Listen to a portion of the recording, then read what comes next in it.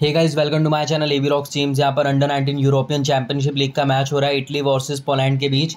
तो बात करें, मेरा टेलीग्राम चैनल लिंक है नीचे डिस्क्रिप्शन में, जाइए फटाफट नीचे डिस्क्रिप्शन बॉक्स में लिंक पर करो क्लिक एंड ज्वाइन हो जाओ। और गाइज़ हम इस वीडियो के अंदर किसी भी तरह की चीज़ को प्रोत्साहित नहीं कर रहे वीडियो बहुत ही ज़्यादा सेफ़ और नॉलेजेबल है, सो बढ़ते हैं आगे। बात करें, अगर हम इस मैच की तो इटली एंड पोलैंड के अंदर जो मैच होने वाला है, इसके अंदर मैं फेवर करूँगा। पोलैंड इटली को सॉरी क्या बोल रहा हूँ? इटली को फेवर करूँगा। इटली टीम यहाँ पर कंफर्म जीत सकती है, क्योंकि अभी जिस हिसाब से मैं देख रहा हूँ, जितने भी मैचेस हैं बिग टीम्स के साथ, छोटी टीमों के साथ मैच हैं, बड़ी टीम के, छोटी टीम्स के साथ तो बात करें स्ट्राइकिंग की, यहाँ पर मैं लूँगा सबसे पहले एफ़ एस पी जीटो को।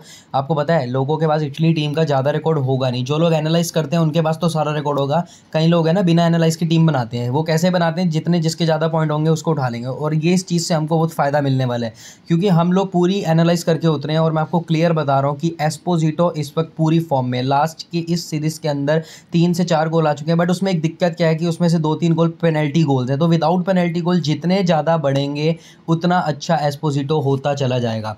एंड आगे से बात करें देन यहाँ पर मैं लूँगा एंद्रिया और नदौर को। ये दोनों प्लेयर पूरी फॉर्म में रहते हैं। एंद्रिया को भी इस सीज़न सेकेंडरी पेनल्टीज़ बहुत मिली हैं एक एक मैचेस के अंदर, जिसमें एंद्रिया ने इस भी इस बीच बहुत ज़्यादा नाम कमाया और नदौर ने भी बहुत नाम कमाया अभी लिपैनल ने लास्ट मैच के अंदर एक गोल किया था बट बेचारे की किस्मत देखो रेड कार्ड मिल गया और नहीं खेल रहा। नहीं तो मैं इस खिलाड़ी को लेने के बारे में सोचता, पक्का नहीं कह रहा हूँ कि लेता कि नहीं, लेकिन मैं अब तो हम सोच भी नहीं सकते ना, क्योंकि अब रेड कार्ड हैंड ओवर है तो अब तो लिपैनल खेलेगा नहीं। सो इसकी जगह पर कौन आएगा, किसको ये प्लेइंग एलेवन में उतारेंगे, ये लोग यही जानते हैं। इसलिए मुझे डाउट है कि ये विग्नेटो को भेजेंगे। और अगर सैमुअल विग्नेटो खेला तो लेना है, नहीं लेना, ये हम तब का तब देखेंगे। तब तक आप क्या कीजिए निकोलो टर्को को सेव कर लीजिए।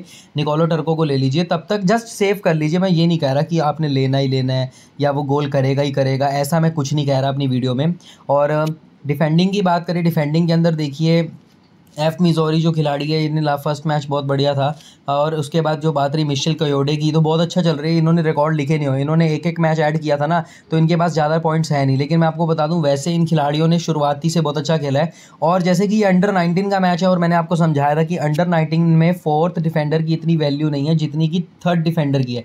सो इसमें थर्ड डिफेंडिंग जो कर रहा है आज के मैच में, वो है रेगनोशी तो मैं रेगनोशी को ले रहा हूँ। एक्चुअली मैं तो चौथे खिलाड़ी को भी लेने को तैयार था, पर वो चक्कर क्या है कि अब खेलेगा कौन? खेलेगा कौन? नहीं, ये लाइनअप्स के बाद पता चलेगा। तो ये अपने सातों प्लेयर पक्के कर लो। ये इटली की दीवार है गाइस जो गिरने नहीं देंगे आपको भी। ऐसी है ये है, ये टीम एंड स्ट्राइकिंग की बात करें, यहाँ पर बेनिक एक प्लेयर है। बैनियक को मैं नहीं ले रहा, मैंने मैंने लेना है मेजर चेक को। ठीक है, मैंने पिछले मैच में भी आपको बोला था। और अगला जो प्लेयर है, वो है आपका एम कोवलसिक ठीक है, इसको ज़रूर। और टी पिंक को। इसको लेना है, तब अगर खेलेगा। पिछले मैच में खेला नहीं था तो अर्बन एस्की को ले लो, क्योंकि अर्बन एस्की लास्ट मैच में मेरा कैप्टन था।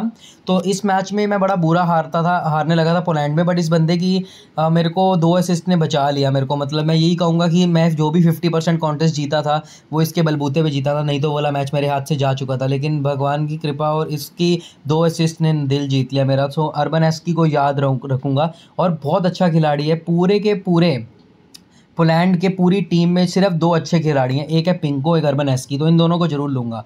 आप ये तक बता रहा हूँ, अगर मुझे यहाँ पर मेजर चेक को छोड़ के भी पिंको लेना पड़ गया ना, मैं ले लूँगा। आपने अभी सेव करना है, कर लो, कोई मना नहीं है। और गोल कीपिंग की बात करूँ तो यहाँ पर तो जिच है ही। अभी आपने सेव करना है, कर लो, ठीक है टी पिंक को अभी अभी सेव करना है, कर लो चेंज करना होगा तो इन तीनों में से कोई चेंज करके स्ट्राइकर ले लेना।